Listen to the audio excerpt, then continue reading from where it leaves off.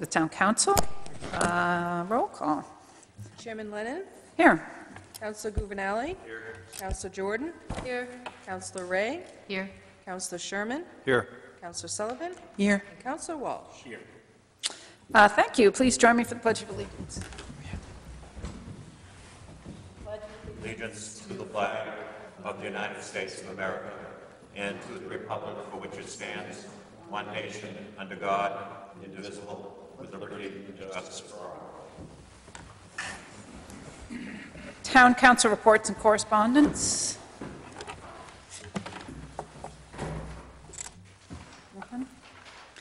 Uh, I have one. On Thursday, January 26th, I attended a breakfast um, and award ceremony at the Embassy Suites. It was hosted by uh, the em- employer support for the Maine Garden Reserves. And essentially, the event was to thank um, all of the employers in the greater Portland area for people who hire those who serve in the uh, Maine Guard and Reservists. And they pointed out that it had to be a collaborative effort in that these people, when they were called to duty, needed to leave um, their jobs for some period of time and then come back and uh, maintain their employment. So it was really just a breakfast to thank us very much for our collaboration and uh, sort of celebrate what these citizens do for our country um, and for people to meet and greet each other. So I enjoyed it a lot, and they gave us a framed certificate of thanks to the town of Cape Elizabeth, uh, which I thought I would hand over to Mike so he could hang somewhere. There you go.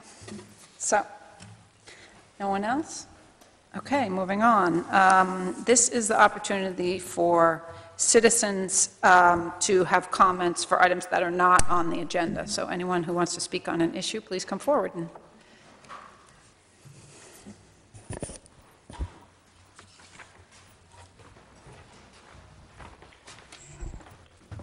Uh, Jody Jordan, 83 Old Ocean House Road, Cape Elizabeth. Uh, Town paper, one of the town papers says you're going to have a referendum for the library, and then another paper says you may not, or you're not going to. I'm just curious what you're going to do, and, and just let you know that I think it should go to referendum for the town. Thank you, Jody. Thank you. Um, we have a workshop after this meeting where we're going to discuss all that, and hopefully we'll come to some resolution, and we'll let the citizens know as quickly as we can. Thank you. Town managers report? No report this evening. Okay. Uh, Draft minutes from last month's meeting. Um, does- Do I have a motion? Jessica? I move that we accept the February 13, 2012 minutes. Second. Comments, changes? All those in favor? Thank you, seven to zero. Um, Item 49-2012, um, this is about the proposed municipal- municipal budget for FY 2013. Uh, Do I have a motion? Dave? Um, I move that we refer the proposed FY 2013 municipal budget and special funds budgets to the Finance Committee. Seconded. Discussion? All those in favor? Unanimous. Uh, Item 50, 2012, the Riverside Cemetery Master Plan update. Uh, Just as a quick background, we did have, uh, we did discuss this in our last workshop, and the uh, committee for the Riverside Cemetery has done, I think, a wonderful job um, of producing a comprehensive uh, master plan update recommendations, which is currently online. You can see um, and it has all of their suggestions for improvements um, prioritized with timelines and the price tags attached to them all. So if you're interested in this, I would encourage you to go to the website and see it. Um, And I guess this is just to recommend a public hearing for next month. So do I have a motion? Jim? Sir, I'd move that the, um, that we schedule a public hearing for the Riverside Cemetery Master Plan update on Monday, April 9th, 2012. Second? Jessica? Second. Discussion? All those in favor? Seven zero. Item 51, 2012. Uh, This has to do with the Fire Department Insurance Services Office review, and um, I'd like to invite the- our fire chief, Peter Gleason, up to give us a brief uh, summary of what this is. Thank you, Peter, for coming. Thank you. Um, The Insurance Service Office is an independent company that comes in and looks at everything we do as far as our training, our, our equipment, our trucks, our people, our response to calls, our water supply. And they take all that information and they boil it down to what they call a public protection classification number. And based on that, the insurance companies use that information to set your homeowners, uh, commercial insurance, that sort of stuff. And we ended up with a uh, Class 3 rating on a scale of 10. Uh, In the state of Maine, according to ISO, there are only seven departments that are Class 3. There's only two departments in the state that are Class 2, one which is South Portland. But those two departments involve full-time people, so I think we finished out very well in the overall scheme of things. Um, There are some opportunities for us. Uh, Training is one of them. Their recommendation is 240 hours of training per person per year, which boils down to about 20 hours a month, which for volunteers, I don't think I'd have many left if we required that. So that was an opportunity for some points that we lost there, but equipment-wise, we are in very good shape. Uh, We needed a fire flow of 3,500 gallons a minute, and with our three pumpers, we easily exceed that. Um, We have some issues with our water mains, but as Water District has money and as we do road construction, those areas are being addressed, but uh, we still have some areas where the uh, fire flow is lacking. But if we had a perfect world, and we had a lot of money, we could fix all of that, and you guys wouldn't have so many dilemmas on your hands. Um, We did do very well in our uh, equipment. Our trucks are top-notch. You guys give us great equipment. Um, And a very important part of that was the ladder truck with the equipment and the fact that we have a ladder truck. They require a ladder truck for um, any buildings more than 35 feet in height, which we have many, many buildings like that. A lot of them are homes. And what people forget about the ladder truck is it's not so much how tall the building is, it's where we can get the truck to use that ladder. So there was a couple things on the ladder truck that we didn't have, and there's all sorts of rating agencies out there, as I'm sure you encounter in all your other things. NFPA says we have to have this amount of ground ladders. Insurance Service Office says we have to have this amount. So we lost points because we don't have, we went with the NFPA standard, which is National Fire Protection, not with the ISO standard, so we lost a couple of points for that. But um, overall, I think everything went really well. Uh, Again, as I said, we're a Class 3 department, which uh, for volunteer department is outstanding. The only way I think we could move up to two is to uh, have full-time personnel, which I don't see the need for at this point. Um, Again, you know, I think it's, it's a testament to the, the support that we get from the council, that we have the equipment to do our job, and it's top-notch stuff. And we're also very fortunate that we have the people that will still volunteer. A lot of departments are struggling with that, but we still manage. But again, I think they have some ridiculous standards as far as level of training. But overall, it's, it's very positive for the department and very positive for the town. Questions? Thank you, Peter. Questions? Peter, um, is this an annual review? It's a 10-year review, and we had it done, and we were Class 3 10 years ago, and we stayed at Class 3. We are on, a- Class 3 starts at 70, and we're at 72 points, so we're just above that rating, but I don't see that changing in the foreseeable future. We would have to have something drastic, new construction or something, before they would come back. Other questions? Thank you so much. So I guess this doesn't require a vote. This was just a presentation. Um, Jesse, I apologize, I just saw you there. Did you want to say anything about Riverside? Some- No? Okay, thanks. Um, Item 52, 2012, Capital Improvement Planning Coordination. Uh, Frank, can I turn to you for Sure. overview? Yep. In our um, February meeting, uh, as we were discussing the potential for issuing debt for the library, we we discussed the fact that we really should be looking at our capital requirements um, in a more holistic way in terms of understanding what the needs are uh, in a variety of locations in town, um, and rather than look- making specific discrete decisions that are um, made in isolation. So uh, according to our meeting uh, in February, we decided that some of us would meet with the school board and Greg, some members of the school board and Greg Marles. We did that on February 17th. It included uh, Mike and Sarah and myself, and as well as um, Superintendent Meredith Nadeau, uh, Michael Moore, who's the uh, finance chair of the, of the school board, and Mary Townsend, who's the chair, as well as Greg. Um, So we discussed the, the need to look at capital requirements, and if you may, you may recall that This was really prompted by the fact that schools will be paying down debt over the next several years, and some of the assumptions regarding uh, library funding was that perhaps that debt reduction would permit borrowings to the library. So we wanted to look at that overall. Um, To be more specific about it, uh, over the next five years, the schools will be repaying about $4 million of debt. The town also will be repaying about $4 million of debt. That's the current schedule. Um, And this reduction begs the question of whether or not there are other needs in town that we could replace this debt with in order to fund other requirements. So things that we need to look at are the schools, municipal facilities, including this building, uh, other municipal infrastructure, the possibility of a fund support uh, land purchases for open space preservation, and of course, the library.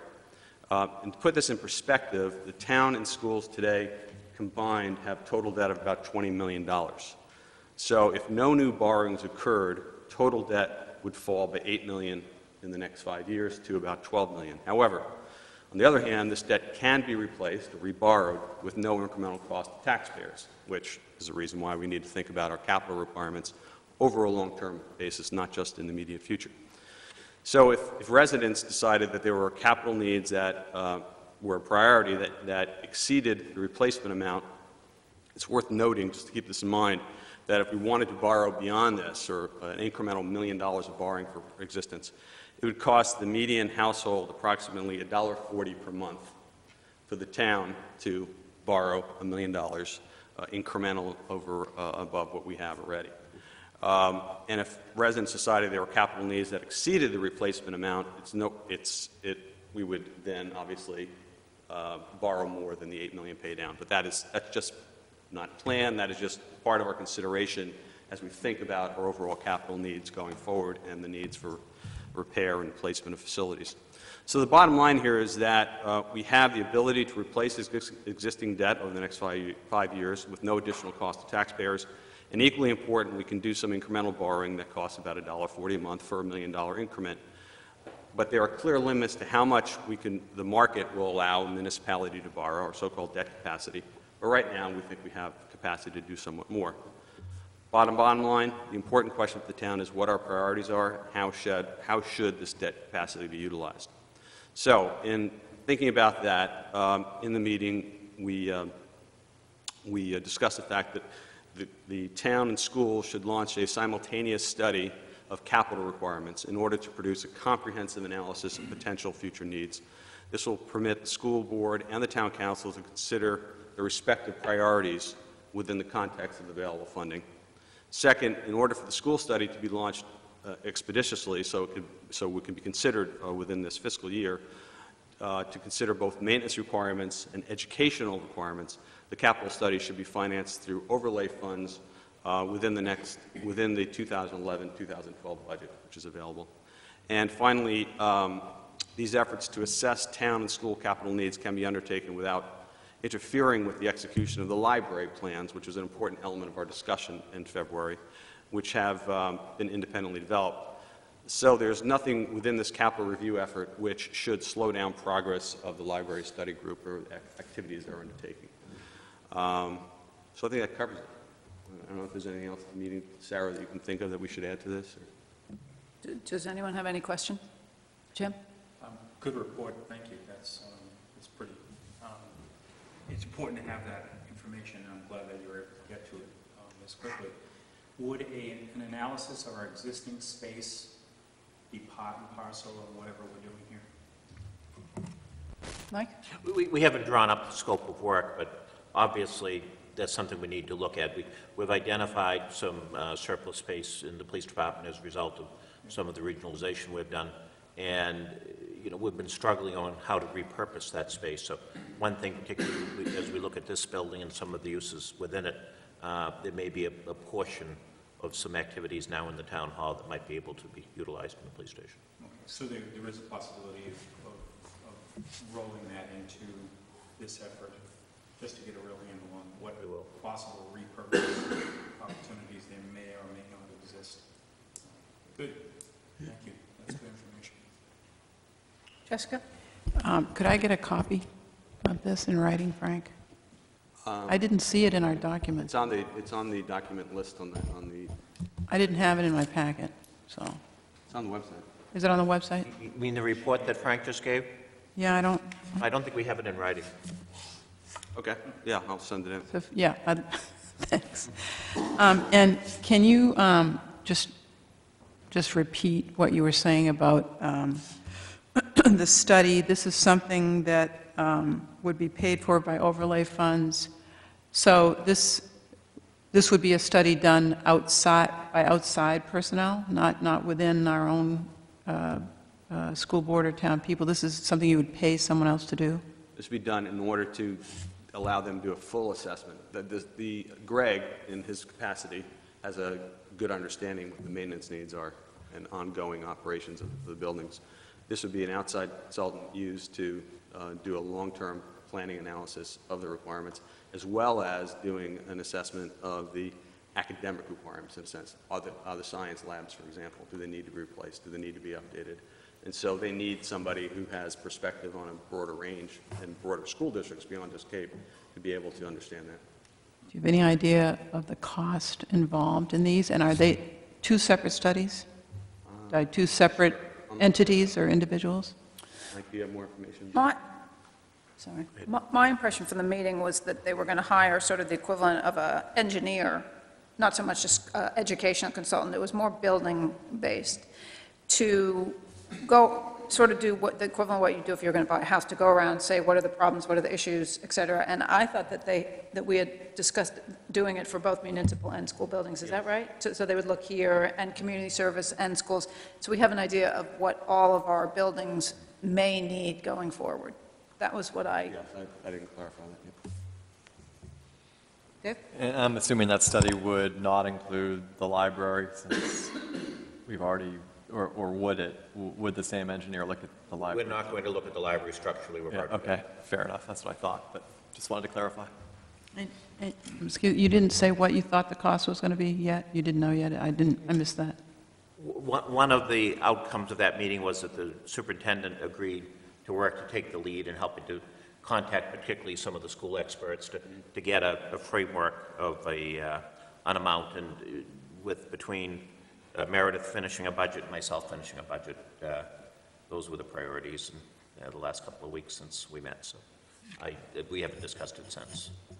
So just to recap, this is for, uh, to look at our buildings, essentially, all the buildings, the municipal and school buildings in town, and see what their, basically what their shelf life is at the moment, and what, what, and and so, how- do you know how far ahead you're going to look? In other words, you're going to ask this engineer uh, for a 5, 10, 15-year projection, or? I, I think it'll depend upon, you know, the discussion. I mean, I would assume it's going to be long-term in nature, but I think we won't know exactly the scope of it until they start writing up an RFP. Kath?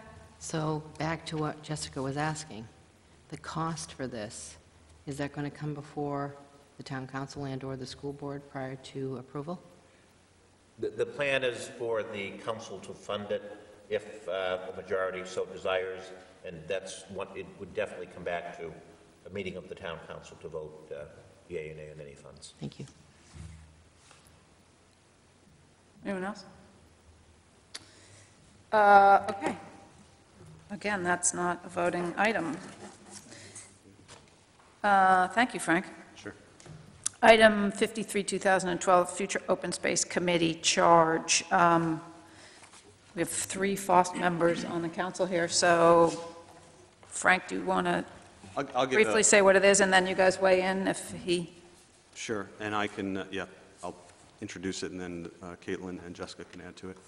Um, And you, this one is on, online, so uh, apologize for the other not being there.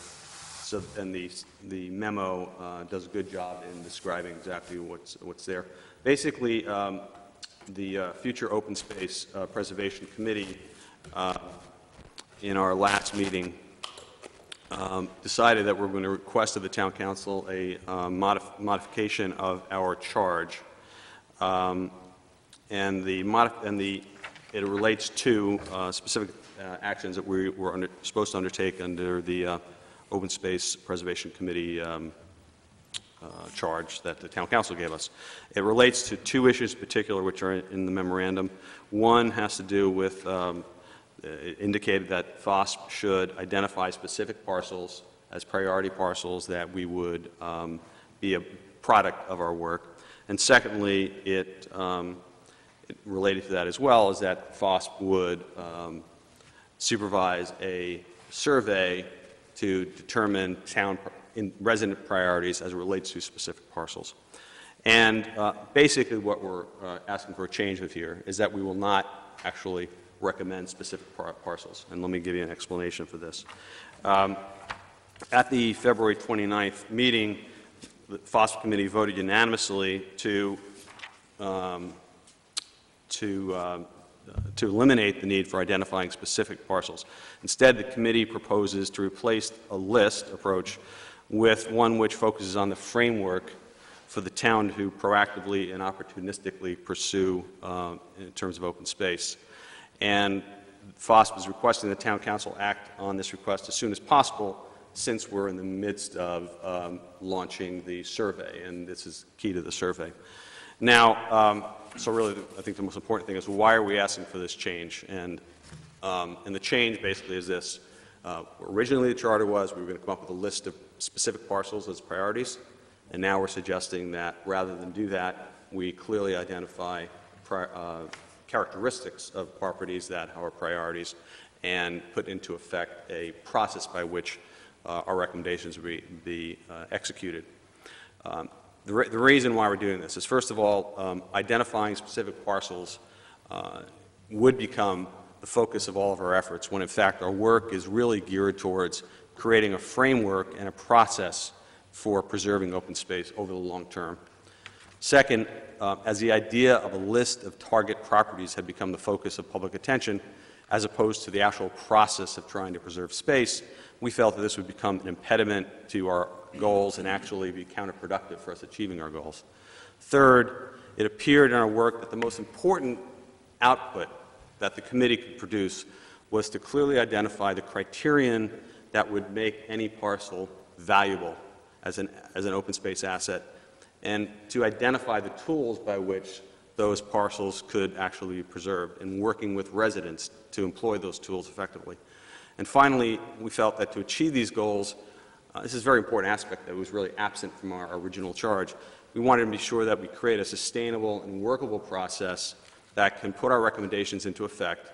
And we think this will make the process of preserve, preserving open space more of a living and sustainable element of the town's operations overall, and respond, giving us the opportunity to respond to opportunities as well as to be more proactive in, uh, uh, in appropriate situations on a real-time basis. So uh, the specific uh, wording of the recommendation is listed in the, in the memo. Um, Basically, uh, paragraph six, we indicate change would be FOSP shall recommend a process slash mechanism for evaluating open space opportunities and proactive acquisition identification, including but not limited to identifying criteria for open space priorities and a party or parties responsible for making open space recommendations to the town council. And second, FOSP shall supervise uh, a professional, statistically relevant telephone survey of town residents, identifying priorities for open space preservation and preferred methods of funding. Um, So that covers it. Uh, We also are presenting the town council with a status report, which is described in the memo. Uh, Before we go into that, uh, Caitlin or Jessica, do you want to add anything to the explanation? I was just going to say that you did a very nice job summarizing succinctly as to what we've discussed in the last couple meetings. Nice job. Yep. And um, uh, the FOS committee did hold its public forum uh, on the 7th, and it was very well attended, and um, um, so I wanted to add that as well. Right, and actually, this was discussed at the forum. Mhm, and yes. was broadly supported at the forum. So I guess I need a motion. Do you want to do, carve that into a motion, something like, Um, I guess the, the motion is to uh, accept the recommendation of the FOS committee to uh, change the uh, charter as um, described in the um, memorandum that we have. any further discussion? Question, do all three members of the FOS committee support this change? It was unanimous vote. Thank you. Other comments or questions? All those in favor? Seven zero. Uh, So now is the second opportunity we have for citizens to comment or have discussion for items not on the agenda. Please come forward. Hello. Hi there, I'm Penny Jordan, and I live on Wells Road. Um, I am here tonight to voice my opinion regarding Thomas Memorial Library vote. Um, I want to applaud the council for the goal that they set uh, early in 2012 regarding the uh, recognition that we need to schedule a citizen vote on um, the new vision for the Thomas Memorial Library and Cultural Center. And I, I believe this decision uh, was a, a very informed and wise decision and should remain consistent at this point in time. Uh, because I think it recognizes the council's view uh, at the point of goal setting that a project of this magnitude uh, should really seek citizen input. And so I just want to stress that I hope you remain consistent with that goal that was set at that time. Um, And I thank you very much. Thank you, Penny. It's nice to see you. Um, one quick one? Sure. Yeah, I was looking at my email earlier during the meeting, and I see I got one from Bob Malley that I did want to relate to you. There's been a lot of questions about where we stand with the Shore Road path, uh, and actually, he sent me an email just updating me at 6:18 PM. Uh, we- We've been, there's been a holdup for the last month and a half, and I think David Harry's called me six times on it, uh, awaiting from the the Augusta office of the Federal Highway Administration, something called the categorical exclusion. The, the great news is last Thursday, we, we received the categorical exclusion, which basically is the, the federal approval for the, for the specs, the plans, uh, all of the environmental issues, uh, all of that. And I, uh, you know, the, the federal government had it for several months. Uh, you know, and we kept awaiting, and there were lots of questions, which our engineers answered, Bob answered. Uh, It's now uh, back at MDOT, uh, Maine Department of Transportation. Uh, We've given them the, the uh, draft specification books, uh, and, you know, it, we, we got stalled a little bit about a month ago. The, the- the specs were already ready to go, and they assigned a new project manager, and the new project manager wanted them in a totally different format than the earlier project manager, so again, the, appreciate the work that AMEC did revising that. But anyway, th- there are still just a couple of loose ends, uh, but we're very close, and Bob's estimated timetable currently is that we will probably advertise bids on April 5th, uh, which we originally hoped to have done on February 29th, uh, that would open, that we would open bids on April 26th, uh, that the contract would be signed and awarded the week of May 1st, and that work would commence on May 14th. Uh, This is again subject to, the the Federal Highway still has the right to a two-week period, once we say we want to go out to bid, that they can step in and stop it. We- We don't expect that, but we, we do have to plan for that two weeks. Uh, The only other thing that that Bob mentions in this email is that uh, you know, he's already, uh, on Friday, he met with uh, one of the representatives of the Beach to Beacon, the TD Beach to Beacon Road Race, and the project, because it's starting late, we had hoped to have it totally done by then, and it won't be. Uh, However, the- the specs will provide there'd be no work uh, afternoon on Thursday, August 2nd, and no work on Friday, August 3rd, so that, for all those, all that extra activity uh, in the traffic during registration, those periods wouldn't be uh, harmed by construction. So the good news is that it looks like it's finally happening, uh, but, uh, you know, April 26th tentatively could be a very big date. That's the date we open bids. So that, that's the update. Thank you. Good news. Um, Question? Sorry. Can you tell, um, Michael, um, approximately how much this is going to cost the taxpayers? Uh, There's a federal grant of 729,000 roughly, and the council has previously appropriated a a little over 100,000, I believe, a little over 100,000. Thank you. Great. And, and there was some earlier monies that we spent on design, and, Right. but for, for this phase of construction. And then, you know, I think most notably is Citizens donated over a hundred thousand, but I think it was hundred and four thousand dollars through, uh, a citizen organization, and that check has been received, and the money's been earning a small amount of interest. Thank you.